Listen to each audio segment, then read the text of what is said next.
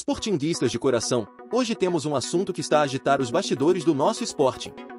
Vamos falar de uma possível transferência que pode mudar completamente o ataque da nossa equipa para a próxima temporada. Mas antes de mais, se você ainda não se inscreveu no canal, aproveite este momento para clicar no botão de inscrição e ativar as notificações. Assim, não vai perder nenhuma atualização sobre as novidades do Sporting Clube de Portugal. E claro, se gostar do vídeo, deixe aquele like para nos ajudar a continuar a trazer conteúdos de qualidade.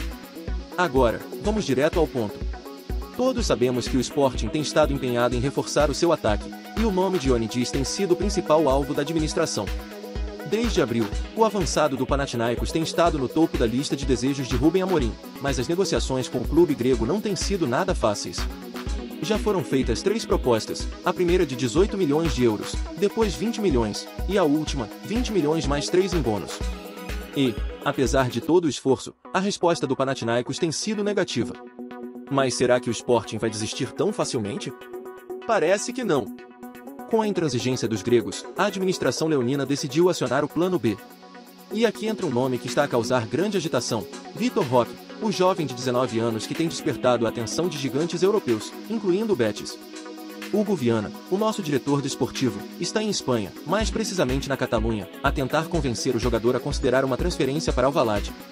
Agora, a situação fica ainda mais interessante. Segundo a imprensa espanhola, Vitor Roque estaria inclinado a dar preferência ao Betis, mas o Sporting não está fora da corrida.